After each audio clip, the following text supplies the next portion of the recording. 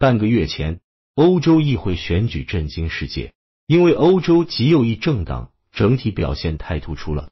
德国舒尔茨社会民主党创得票率创下历史新低，法国更不用说了，极右翼政党联盟获得的选票是马克龙政党两倍多。欧盟是个整体，谁说了算呢？大家投票决定，所以这个得票率马克龙懵逼了，因为这意味着马克龙政党在欧盟的权力几乎被架空了。说白了，法国你说了不算。但是今后欧盟是极右翼的天下。不仅如此，极右翼表现这么突出，下次法国总统大选没你马克龙什么事了。你这点支持绿毛又没有，极右翼政党马上要上台执政了。各位可知道这意味着什么？在马克龙心中，意味着整个欧盟的前途快要被葬送了。整个欧盟头部主要是法德，然后能支棱起来的只有法国马克龙了。现在遇到这事，马克龙慌到爆炸，怎么办呢？马克龙做出了一个非常牛叉的决定，同时也是一场整治豪赌，那就是宣布解散国民议会，提前重新选举。结果就在当地时间六月三十日。法国国民议会第一轮选举结果出来了，极右翼的国民联盟依旧是最大赢家，极右翼拿下百分之三十四点二选票，位居第一。泛左翼联盟的新人民阵线列第二，拿下百分之二十九点一选票。马克龙阵营是最大输家，只拿到了百分之二十一点五选票，位列第三。马克龙本来的想的是解散重新选举，稳固自身地位。拿到更多的议会主导权，结果这回是彻底失算了，输得一塌糊涂，反而帮助极右翼成了最大赢家。你说这意味着什么？意味着欧盟真的要大变天了，意味着未来极右翼很可能会席卷整个欧洲。网上看到很多分析，但是大多都是无关紧要的问题。这是最关键之处，其实是在于极右翼整体崛起，大概率会葬送整个欧盟的前途。极右翼其他主张我们就不说了，最关键就在于欧洲极右翼都有一个共同的整治倾向，那就是脱欧。大国博弈，用布林肯的话来说，有机会在餐桌上的就那么几个，中美俄不用说，除此之外能排得上号的就是欧盟了。欧盟为什么这么牛叉？牛叉到欧盟甚至有自己的结算货币欧元。要知道，我们这些年一直想搞中日韩自贸区。然后发展亚元，拒绝美元收割，结果这么多年过去了，我们连第一步自贸区都还没搞成，因为你不让美国收割，美国不同意，日韩又都是美国殖民地，一到关键时刻，不是有人被暗杀，就是小岛争端又开始了，跟这两货你说怎么搞？没法搞。所以欧盟的牛叉之处就在于他们是个联盟，国多力量大，在这个联盟当中。法国、德国这样的头部国家获利其实是最大的，因为他们是整个联盟的头部。说白，整个欧盟归他们领导。为什么这回极右翼异军突起？为什么极右翼又都有脱欧的政治倾向？因为过去一直是大家加入欧盟吃香的喝辣的。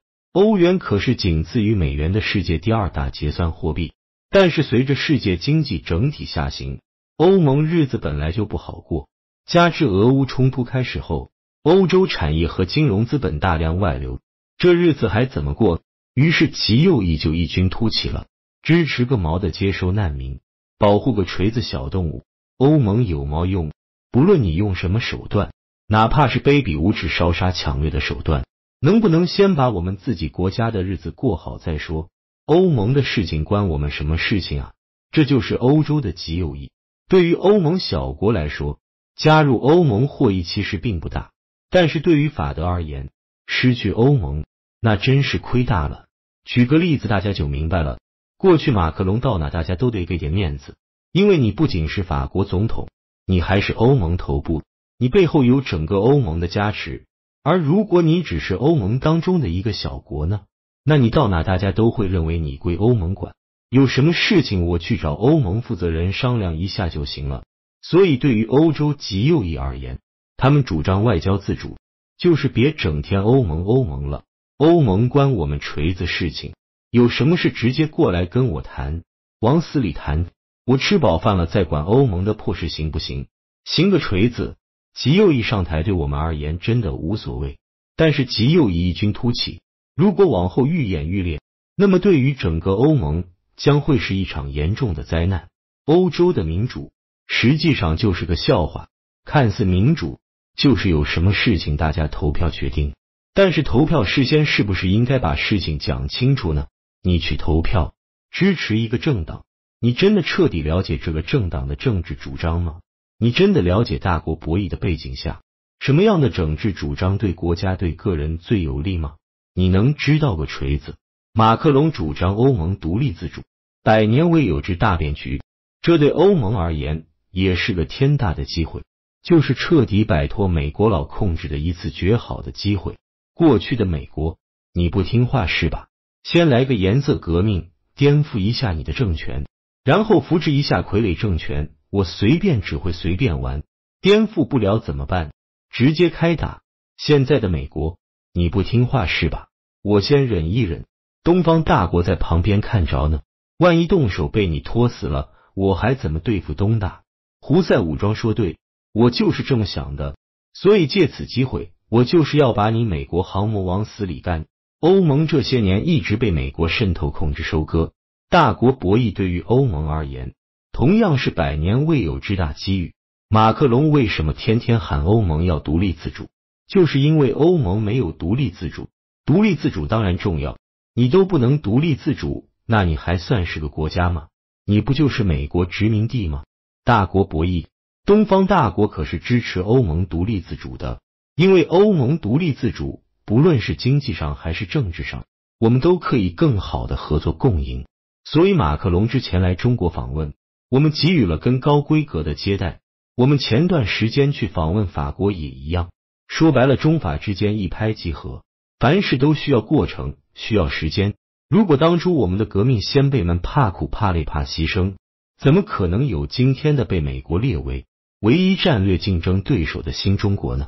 但是很明显，欧盟大多数人不这么想，他们有选择，能投票，所以人家不愿承受这个过程。别扯犊子了，直接极右一把，怎么舒服怎么来，立刻马上来。我们不要未来，只要当下舒服一点就可以。我们说的这还是能看懂马克龙主张的。实际上，大部分人都是盲从。欧洲这些年被美国渗透，其中主要一项就是舆论渗透。欧盟互联网平台都是美国的，美国随随便便一忽悠，大家嗷嗷叫的开始跟风。你说这样的欧盟有民主吗？大家都能投票，这就叫民主吗？实际上，欧盟大多数人早就被美国忽悠瘸了。所以这次欧盟极右翼的异军突起，再次告诉我们，真正的强大只能是打出来的，没有革命的流血牺牲，那就不要妄想轻易打破现有的利益联盟。有人问欧洲极右翼这事对我们而言是好事还是坏事呢？实话说，当然是利大于弊。我们是一直寄希望于马克龙能在欧盟支棱起来，然后带领欧盟独立自主，这样双方才能更好的合作。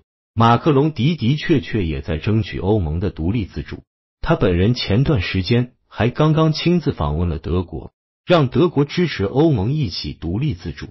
但是这事也需要过程，这还遥遥无期呢。那么既然现在极右翼异军突起，他们又刚好主张外交独立自主，那我们直接挨个跟他们独立自主搞外交不就行了？只是对欧盟本身而言，这是场大灾难。这样的散装欧盟。注定会被美国一一击破，而美国下手的同时，他们要想自保，那就只有一条路可走，那就是求助于东方大国。不愧是百年未有之大变局，这是天天见证历史。